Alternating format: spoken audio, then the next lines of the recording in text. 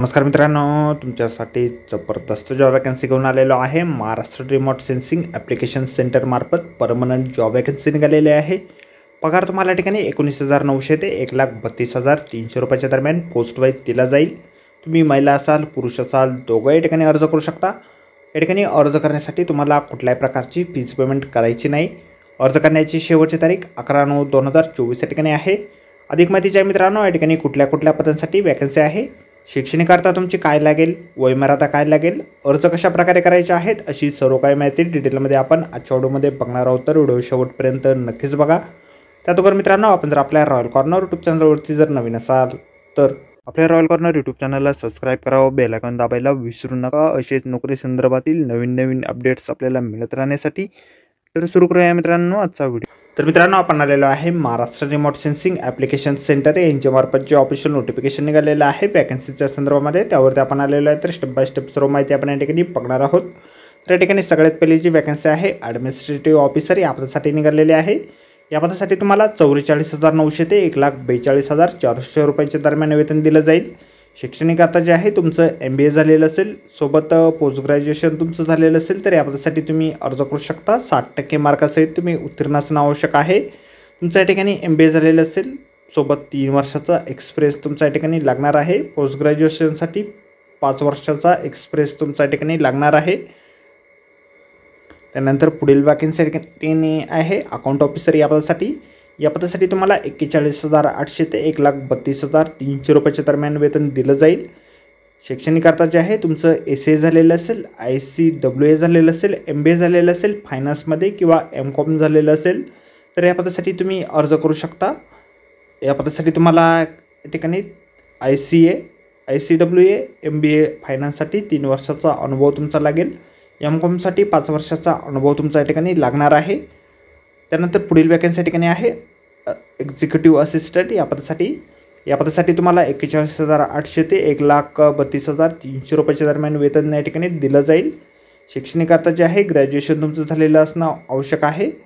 Experience जो आहे सात वर्षापर्यंतचा तुमचा स्टेनोग्राफरीसाठी या ठिकाणी असणं आवश्यक आहे आणि पाच वर्षाचा हायर ग्रॅज्युएट स्टेनोग्राफरीसाठी असणं आवश्यक आहे. त्यानंतर पुढील वॅकन्सी ठिकाणी आहे ॲडमिनिस्ट्रेटिव्ह ॲड या पदासाठी. या पदासाठी तुम्हाला एकोणीस हजार नऊशे ते त्रेसष्ट हजार दोनशे रुपयाच्या दरम्यान वेतन दिलं जाईल. ग्रॅज्युएशन तुमच्या ठिकाणी झालेलं असणं आवश्यक आहे. साठ टक्के मार्कसहित तुम्ही उत्तीर्ण असणं आवश्यक आहे. एक वर्षाचा अनुभव तुमच्या ठिकाणी लागणार आहे.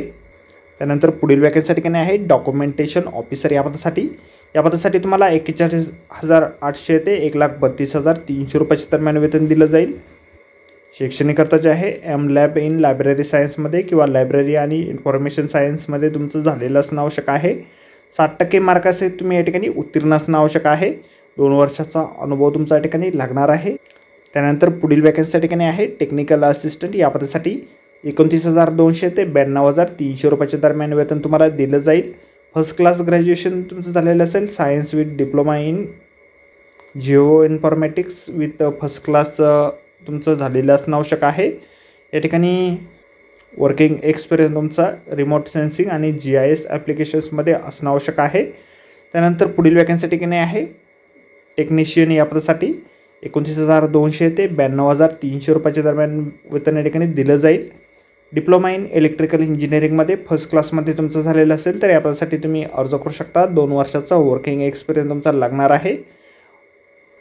अर्ज जे आहे तुम्हाला ऑफलाईन पद्धतीने या ठिकाणी करायचे आहेत त्यासाठीचा ॲड्रेस आपल्याला या ठिकाणी दिलेला आहे. Administrative officer M R S S C V N I T campus south Ambazari road Nagpur या ठिकाणी तुम्हाला तुमचे अर्ज जे आहेत अकरा सप्टेंबर दोन हजार चोवीसपर्यंत संध्याकाळच्या सहा वाजेपर्यंत सुट्टीचे दिवस उघडून या ठिकाणी सादर करायचे आहेत. वय जे आहे तुमचं एक नऊ दोन हजार चोवीसला या ठिकाणी काउंट केलं जाईल. रिझर्व्ह कॅटेगरीला वयामध्ये सवलत या ठिकाणी दिली जाणार आहे. फीज पेमेंट जे आहे? पाचशे रुपये या ठिकाणी असणार आहे.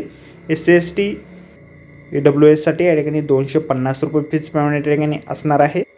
ॲप्लिकेशन फॉर्म जो आहे अशा प्रकारे आपल्याला जाहिरातीमध्येच दिलेला आहे. जाहिरातीची लिंक आपल्याला व्हिडिओच्या डिस्क्रिप्शनमध्ये दिलेली आहे.